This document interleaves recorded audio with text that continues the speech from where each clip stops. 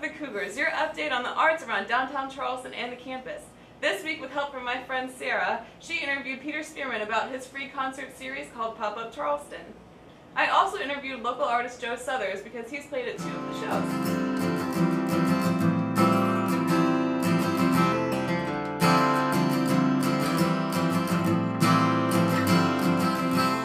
Here with Peter Spearman from Pop Up Charleston. So tell me about yourself. Let's see, I'm a senior uh, from Charleston, and I'm a double major in English and theater performance.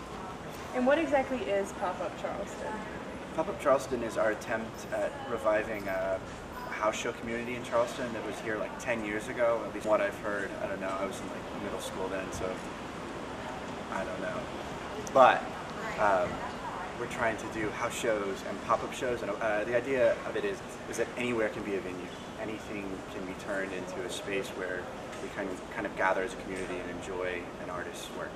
And what inspired you to restart? Um, I guess it kind of it came out of we had a friend uh, who goes to Belmont named Liza Anne who was going to do a house show tour, and she needed a place in Charleston to play, and I was like, we used to live behind Fire um, in Kevsco Alley, and I was like, we got this really cool outdoor space, let's use it. Um, we had one, like it was our last semester there, and so we were like, let's just make the most of it. And so we did, and and so people were like, well, we really want to keep doing these. And then we have like we have this really great artist community in Charleston and in kind of the southeast. Um, so it kind of came out of a need for a place for them to perform that wasn't charging them a lot, taking a cut. And how do you find all these artists to come? Um, most of the time, they contact us.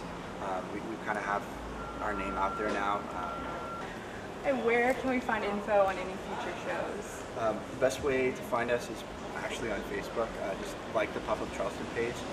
Um, that's where we have all our events. Uh, we actually post all the pictures there. We have a website um, that we're kind of working on. We're working on a couple of things with it. But Pop Up Charleston on Facebook is the best way to get to us. If you took the time to think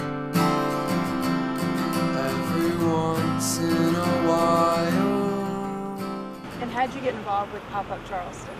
Um, I've known Peter for uh, several years now, um, and he used to live in this place uh, behind Fire, and there was like an alley there. And uh, one day, he just had this idea where he wanted to have like shows there, and they were just called like Kevsco Alley house shows because the alley had a gate that says Kevsco on it. And um, yeah, he asked me to play the first one, and I did, and it was a lot of fun. And then he had like more and more of them, and it turned out to be like a pretty good success. And um, then when they moved out of that apartment, they moved uh, to this place that they call Palace, and that's uh, that's where they're starting the pop-up shows.